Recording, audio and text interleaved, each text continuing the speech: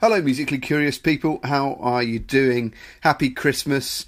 Um, this is not a full episode. This is just me dropping into your feed with the little micro Christmas gift that I promised you. And that is a song from wonderful person, all round legend, and of course, astronaut and former commander of the International Space Station, Commander Chris Hadfield.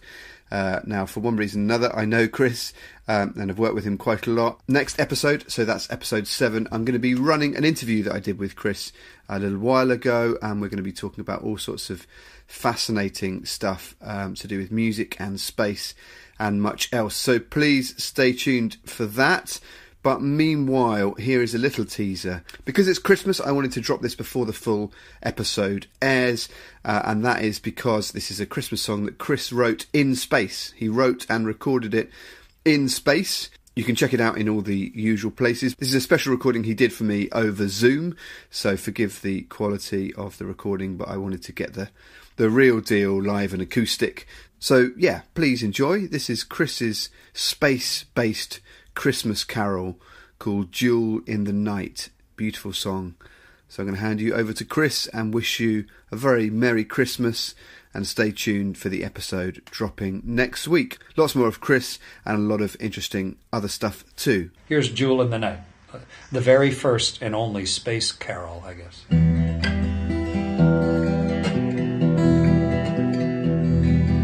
So bright, jewel in the night, there in my window below.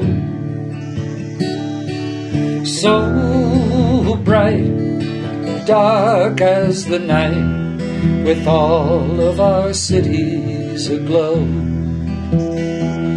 It's long been our way to honor this day and offer goodwill to men.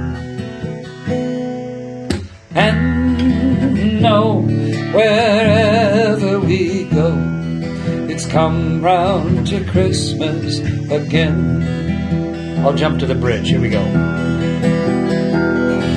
Love for the families that gather below. Love for the stranger that you'll never know.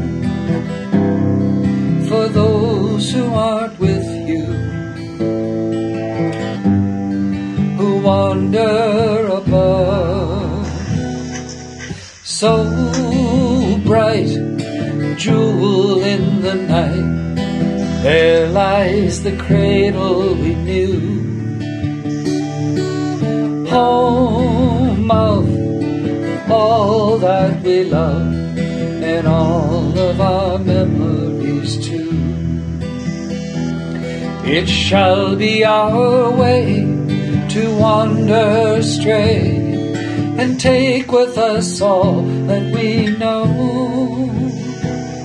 and never cease this message of peace from Bethlehem so long ago.